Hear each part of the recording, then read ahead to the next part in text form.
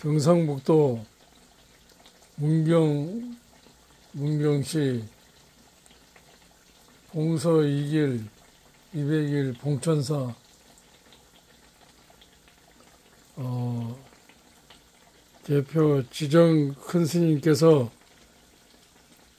에, 개미치 꽃 축제를 에, 하기 위해서 이 수문은 그 개미치 나물이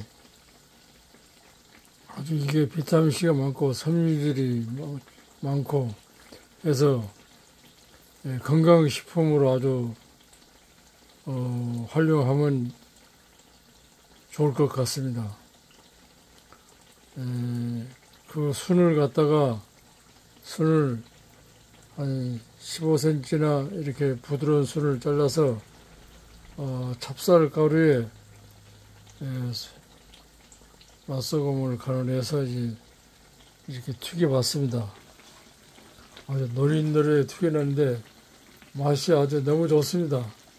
쌉쏠하니 참 그 자연의 어떤 예, 천연 건강 식품인 것이 산나물인 게 확실한 것 같습니다.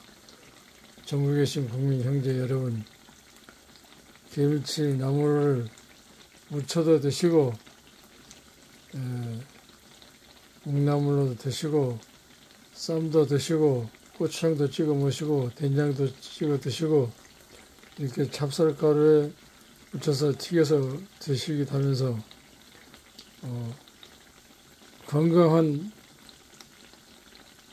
삶이 되시기를 간절히 바랍니다. 감사드립니다.